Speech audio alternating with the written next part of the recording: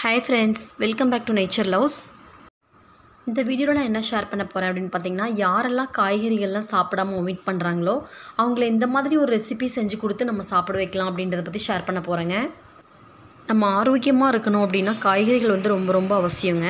நம்ம குழந்தைங்கலாம் பார்த்திங்க அப்படின்னா காய்கறிகள் சாப்பிடவே மாட்டாங்க. அவங்கள எப்படியாவது நம்ம சாப்பிட வைக்கணும் அப்படின்றதுக்கு நிறைய ஃபாலோ பண்ணுவோம். எந்த வெஜிடபிளை ஒமிட் பண்ணுறாங்களோ இந்த மாதிரி செஞ்சு கொடுங்க அவங்க நல்லா சாப்பிடுவாங்க.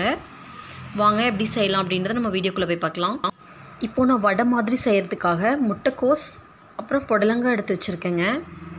இது ரெண்டையுமே ரொம்ப சிறுசாக கட் பண்ணி வச்சுருக்குறேங்க. அப்போ தான் வேகும் அதுக்காக. இஞ்சி பூண்டு கொஞ்சம் உரிச்சு எடுத்து வச்சுருக்கேங்க. மிளகாத்தூள் கடலை மாவு மைதா மாவு அரிசி மாவு பெருங்காயம் உப்பு இதெல்லாம் நான் எடுத்து வச்சுருக்கேங்க. நம்ம வந்து தேவையான அளவு கலந்துக்கலாம் அப்படின்றதுக்காக எல்லாமே எடுத்து ரெடியாக வச்சுருக்கேங்க. இப்போது நான் ரொம்ப சிறுசாக கட் பண்ணி வச்சுருக்கிற முட்டைக்கோஸ் சிறுசாக கட் பண்ணி வச்சுருக்கிற புடலங்காய் ரெண்டையும் ஒரு பாத்திரத்தில் சேர்த்துட்டேங்க. முட்டைக்கோஸ் வந்து ஒரு மூணு பகுதி அளவும் புடலங்காய் வந்து ரெண்டு பகுதி அளவும் நான் எடுத்து வச்சுருக்கேங்க.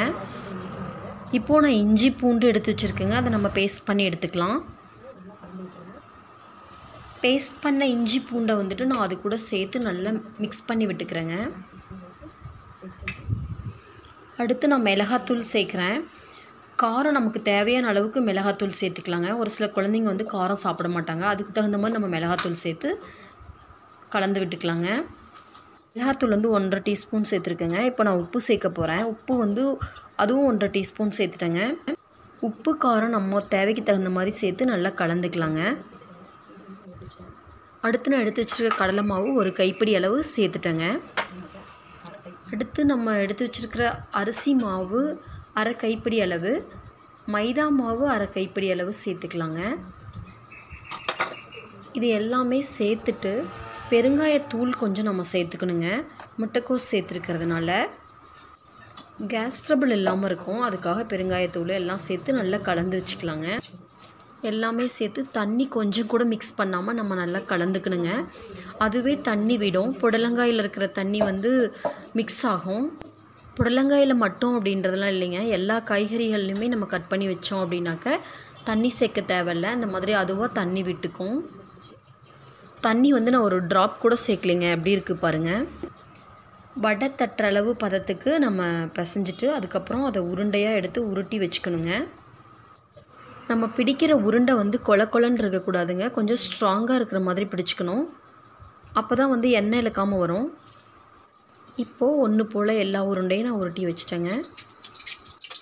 அடுத்து ஒரு வானலியில் நம்ம ஆயில் விட்டுக்கலாம். ஆயில் நல்லா காஞ்சி வரணும். அது ஃபஸ்ட் நம்ம செக் பண்ணிக்கலாங்க. இப்போது ஆயில் பார்த்திங்கன்னா நல்லா காஞ்சி வந்துருச்சு. அடுத்து நம்ம கையில் கொஞ்சம் ஆயில் அப்ளை பண்ணிவிட்டு நம்ம எடுத்து வச்சுருக்க உருண்டையை ஒன்று ஒன்றா இது போல் பொறுமையாக வடை போல் தட்டி அந்த ஆயிலை நம்ம போட்டுடலாங்க இப்போ அடுத்ததும் எடுத்து இந்த மாதிரி நல்லா வடை மாதிரி தட்டி வச்சிடலாங்க. வடை வெந்துட்டுருக்கும்போது நம்ம அப்பப்போ திருப்பி விடணுங்க. திருப்பி விட்டுட்டு இப்போது பார்த்தீங்க அப்படின்னாக்க அந்த வடை வெந்து நல்லா இந்த மாதிரி பொன்னிறமாக வந்திருக்கும். அப்போ வந்து நம்ம எடுத்து ஆயிலெலாம் வடிச்சிட்டு நம்ம வேறு பாத்திரத்தில் வச்சிடலாங்க. அடுத்து நம்ம தட்டி வச்சுருக்கிறத ஆயிலில் சேர்க்க போகிறோங்க இந்த மாதிரி நம்ம ஒரு ரெண்டு ரெண்டு மூணு மூணாக போட்டு நம்ம எடுக்கலாங்க. பாருங்கள் எப்படி ஆயில் கொதிச்சு அழகாக நம்ம இப்படி திருப்பி விட்டுக்கணுங்க. இப்போ பார்த்திங்கன்னா அதில் இருக்கிற வெஜிடபிள்ஸ்லாம் நல்லா வேகும். வேகும் போதே நல்ல ஒரு வாசனை குழந்தைங்கள சாப்பிட வைக்கிற அளவுக்கு இருக்குங்க. இப்போது நம்ம இருக்கிற எல்லாத்தையுமே சமைச்சு எடுத்தாச்சுங்க. இப்போது நம்ம எல்லாமே எடுத்து வச்சுட்டு ஸ்டவ் ஆஃப் பண்ணிடலாங்க. ஆயில் கூட அந்தளவுக்கு எடுக்காதுங்க. ஹெல்த்தியான டேஸ்டான வெஜிடபிள் வடை ரெடி ஆகிடுச்சுங்க இந்த மாதிரி ஒரு வெஜிடபிள் ரெசிப்பியை உங்கள் குழந்தைங்களுக்கும் செஞ்சு கொடுங்க. வெஜிடபிள்ஸ்லாம் சாப்பிட வைங்க. இதில் காய்கறி கட் பண்ணுறதுக்கு மட்டும்தாங்க டைம் ஆகும். மற்றபடிக்கு ஈஸியாக நம்ம செஞ்சு முடிச்சிடலாம். ஆயிலில் போடுறதுக்கு பதிலாக நம்ம தோசைக்கல்லில் கூட இந்த மாதிரி போட்டு கொடுக்கலாம்.